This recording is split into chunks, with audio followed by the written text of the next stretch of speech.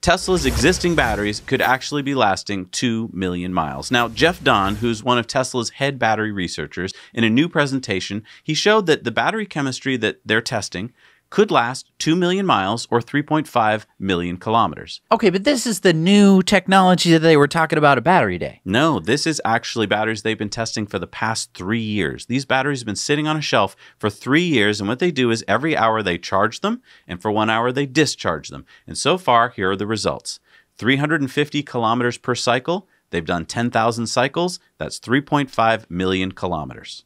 Here's the charts to show it. So what am I looking at? Okay, so the chart on the left, they charge the batteries from 0 to 80%, and then they discharge them and do it again and again. And you can see that basically that line is pretty flat. That's showing basically the degradation, and it doesn't degrade that much. And so what are the different lines there? Those are the different C ratings or the amounts of amperage that they're pumping in and out of the batteries. As you pump in more amperage, it does decline a little bit faster, but as you're seeing here, they're all pretty much following the same linear degradation path, which is very slight. Now, the next chart here is 90%, 0 to 90%, and the same thing you're seeing, not a big difference. And then 0 to 100, which we all know you really shouldn't charge your battery to 100 or go down to 0, and yet it's still not that bad. So what does this mean? This means, as Jeff Dahn put out in this paper in 2019, existing lithium ion technology for batteries is already giving us more than we need, more than a million mile battery. This is a 2 million mile battery.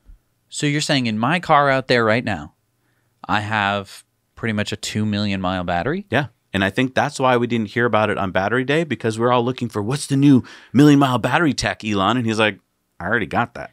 And if he were to say that, if he were to say we have the million mile battery, who knows what people would do? They'd be like, wait, if, if it's already there, then what uh, do I sell stock? What do I do?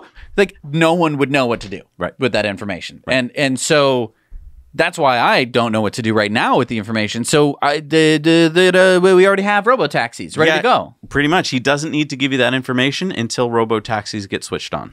But now seeing this full self driving in action, we kind of know that we're not far. So we're just cluing you in on what's about to come.